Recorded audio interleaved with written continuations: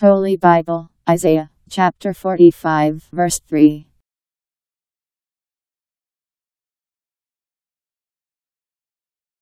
And I will give you the stores of the dark, and the wealth of secret places, so that you may be certain that I am the Lord, who gave you your name, even the God of Israel.